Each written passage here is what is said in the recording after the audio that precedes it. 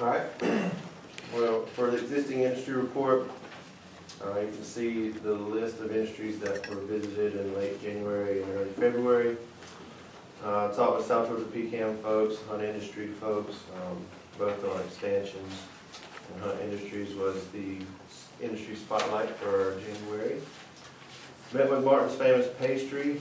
Um, If you haven't in- ever been in there you get a chance to, do so, because it smells delicious in there, but they're doing well, and happy to be in Valdosta. Uh, ABS, or American Drill Bushing, we met with them, um, on some possible expansion in the future.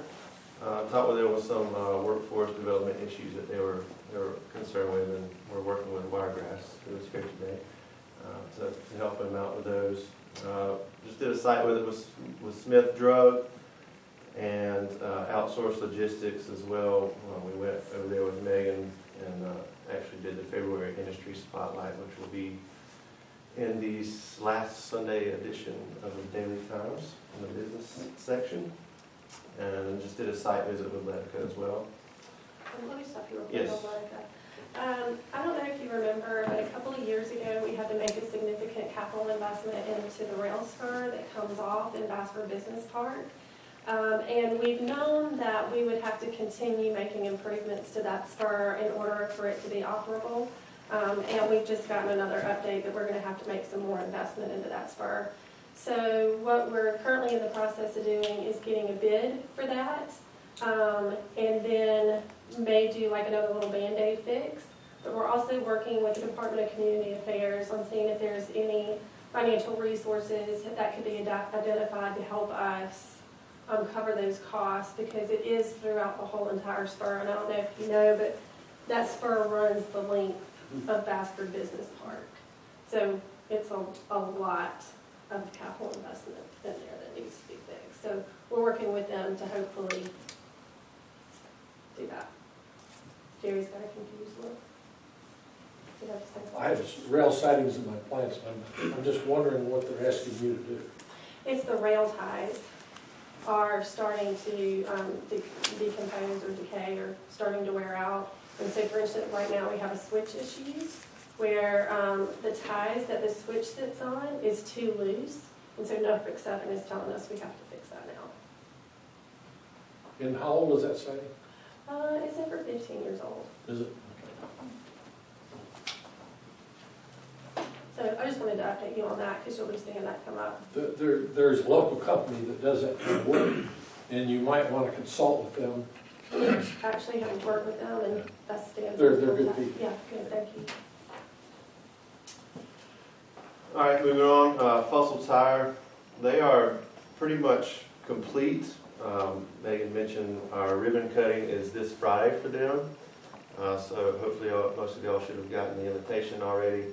And it will be at nine AM, uh, on this Friday, so hopefully it's not too freezing cold. But this is just some pictures I went out and took yesterday of the completed building. It's very nice. Um, it's probably the nicest garage or workshop I've ever seen, so you get so when you do come out to the ribbon cutting, we will get to tour the facility and look at it, so, um, so it'll be good, good to see that, here's just a few more pictures, um, just from different angles.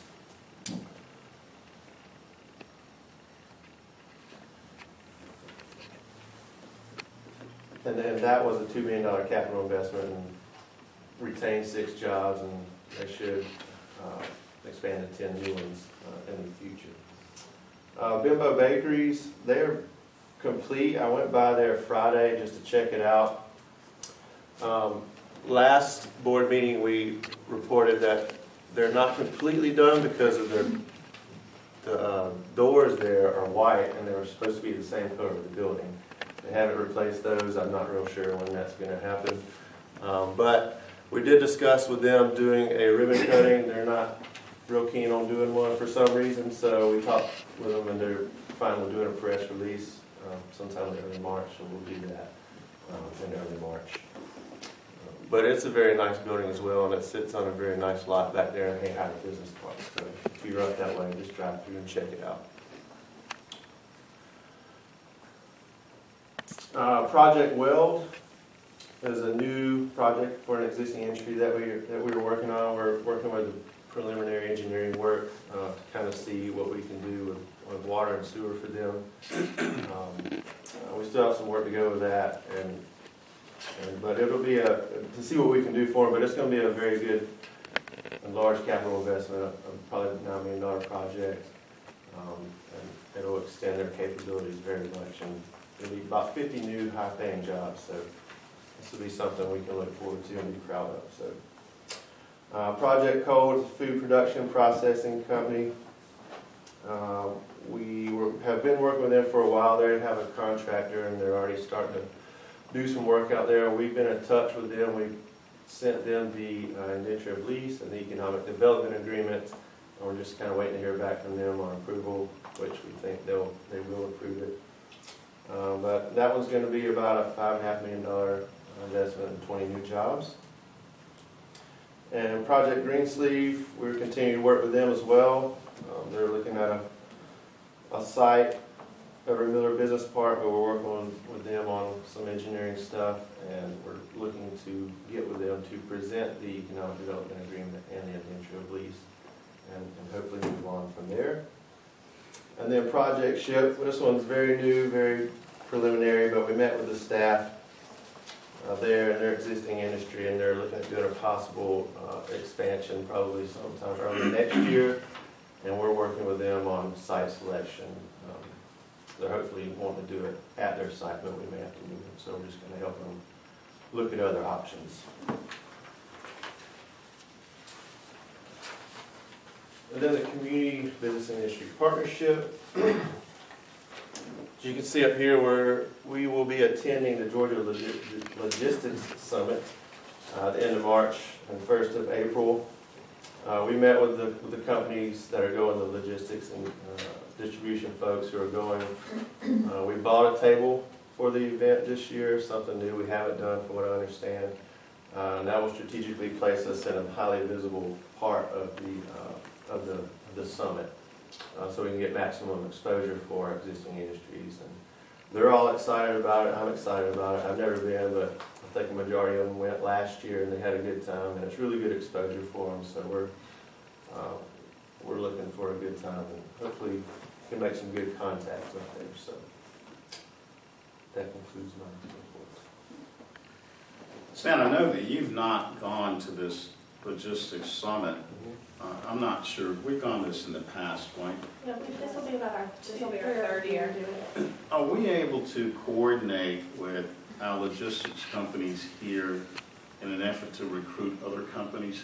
How are we working that? I'm not, So one of the purposes for us actually doing this logistics summit is to help connect them with partners to help grow their business, which helps them, helps them expand, um, hence outsourced logistics looking at expansion. Um, But one of the things that we're doing with this um, exhibit table is to hopefully make those contacts, to link them up, and to work with them in bringing additional suppliers in. So we work with them when we visit them on an existing industry basis, so that repeated, you know, visit that we make. We talk to them about suppliers or contacts that they're making, things that they're seeing, and if they could forward those to us, and if there's any way that we can work with them um, and reach out to them in advance. has this yielded any prospects in prior years?